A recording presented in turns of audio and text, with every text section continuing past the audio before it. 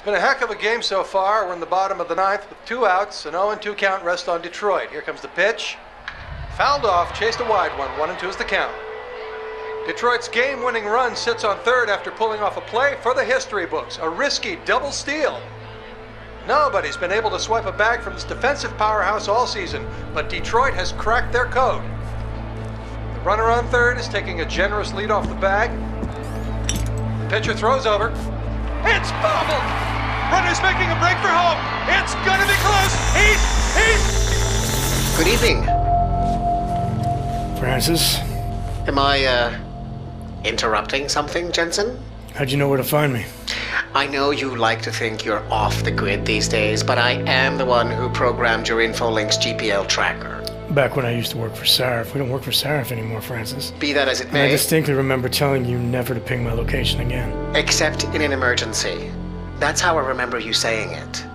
A year ago, when the rest of the world thought you were dead and I helped you get out of Alaska, in fact, I seem to recall you adding, and I quote here, I really owe you one, Pritchard. I don't recall saying it quite like that.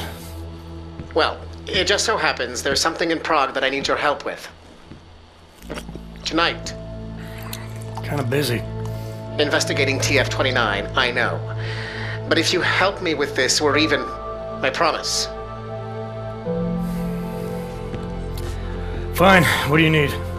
I've been hired to vet a company, a freelance job. Someone in Prague was helping me, but, uh.